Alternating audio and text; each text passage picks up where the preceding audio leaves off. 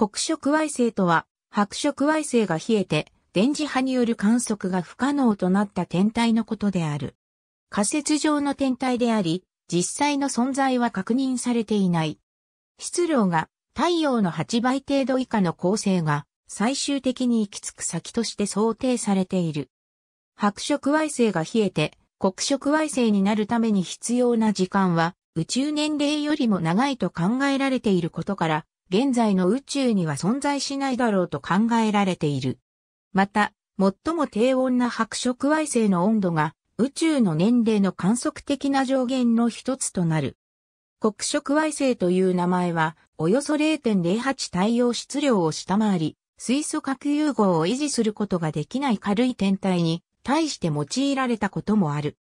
現在ではこれらの天体は一般に1970年代に付けられた名称である褐色矮星と呼ばれる。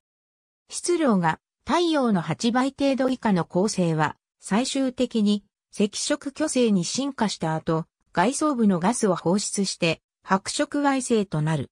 白色矮星はもはや核融合を起こさないため、熱源がなく、放射によってエネルギーを失い冷えていく一方である。こうして徐々に温度が低下して、放射量も減少していき、最終的に電磁波を使って直接観測することが不可能になった天体を黒色矮星という。黒色矮星が存在したとしても、定義により放射をほとんど行わないため、可視光を含めた電磁波によって黒色矮星を捉えることは困難である。実際に観測する方法としては、褐色矮星と同じように重力の影響を介した検出が考えられている。黒色矮星が観測可能な恒星と連星系を構成していれば、恒星の固有運動への影響から存在を知ることができる。単独の黒色矮星であっても、背景にある天体に及ぼす重力レンズ効果を利用して検出できる可能性がある。白色矮星は放射によって冷却し、次第に温度は低下して放射量も減少していく。そのため低温な白色矮星ほど年老いた天体である。2012年にはアリゾナ州の MDM 天文台の2.4メートル望遠鏡を用いて表面温度が 3900K を下回るほどに冷却した様々な白色矮星が発見されている。これらの白色矮星の年齢は110億から120億歳だと推定されている。天体の遠い将来の進化はダークマターの性質や陽子崩壊の可能性とその割合などのあまり理解が進んでいない物理的な問題に依存するため、白色矮星が黒色矮星の状態になるためにどれほどの時間が必要かは詳しくは分かっていない。ジョン・ディー・バローとフランク・ティップラーは白色矮星が 5K にまで冷えるのには1015年が必要だと推定している。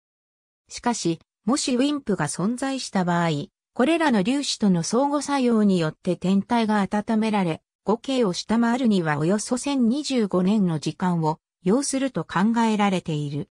もし陽子が安定ではない場合、白色矮星は陽子崩壊によって解放されるエネルギーによっても温められうる。フレッド・シー・アダムズとグレゴリー・ラクランによる推定では、仮説上の陽子の寿命を1037年とすると、太陽と同じ質量の年老いた白色矮星の有効温度はおよそ 0.06K になるとされている。これは低温ではあるが、1037年後の宇宙マイクロ波背景放射の温度よりも高いと考えられる。太陽がおよそ80億年後に核でのヘリウム核融合を終えると外装を惑星上星雲として放出して白色矮星となる。その後数兆年以上の時間をかけ、徐々に光を放出しなくなる。この状態では、肉眼で太陽を見ることはできず、重力的な影響が明白であっても、工学的に確認することができなくなる。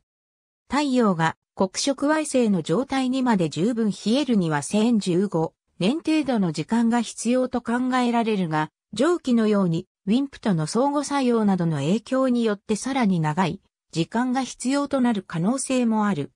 ありがとうございます。